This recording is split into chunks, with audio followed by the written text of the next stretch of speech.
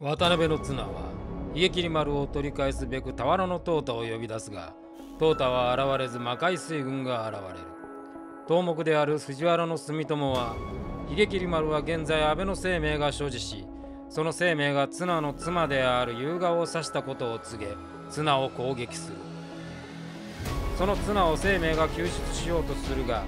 家切丸が暴走綱は生命を倒す。人が消えると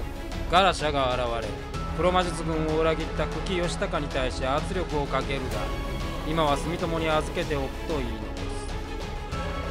倒れている霧隠れ才蔵と望月千代目の前に現れるお市の方お市の方は伊予の力を借り才蔵と千代目を復活させる。滝足は魔界水軍を強化するために鶴姫を呼び出し淘汰と戦わせる。途中滝夜叉自ら参戦し鶴姫を追い詰めるが越智康成が現れ鶴姫を助けるそこに大堀康房が乱入。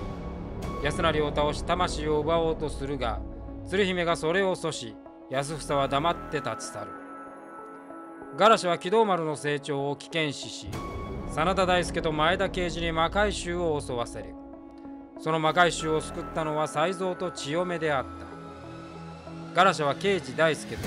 才蔵千代目の脱婚の儀式を行わせさらに朝比奈義秀を投入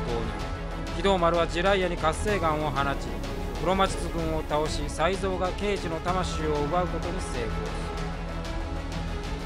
倒れている生命と夕顔の前に現れた綱は2人をひげ切り丸で貫く黒魔術の呪いから解放された刑事と才蔵が喜びを分かち合っているところに現れたのは魔界水軍である。